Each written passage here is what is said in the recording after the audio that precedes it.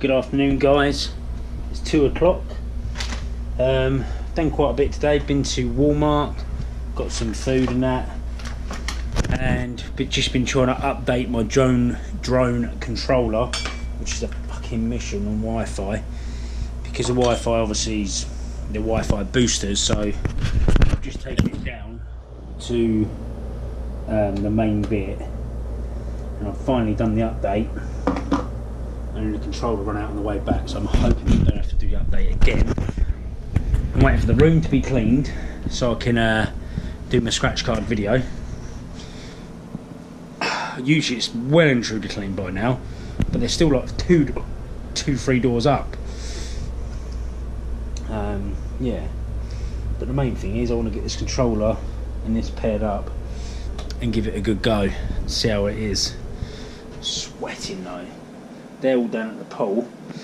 So probably while that drone's controlling and one waiting to clean the room, I might as well go down to the pool and have a jump in there, see what that's like, do some filming with this, because this has never been in the water. Been in rain, but not water.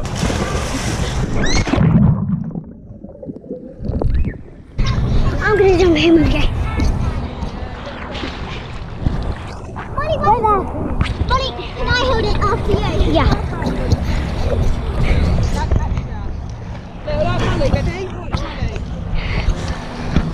I scared I'll drop it. Don't worry about dropping it, we can get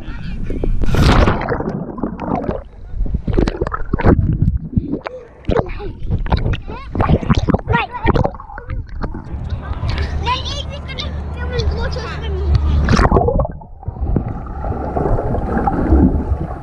Wondering how back up. Ready? Today, go! What about your nose?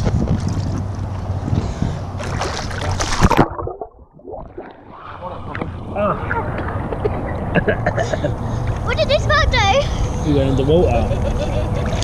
Yeah. Uh, so me and uh, Darren just sort of went uh, went to the helicopter place to see what the prices were, and we're we're, we're, we're going to fly out in a second in our helicopter.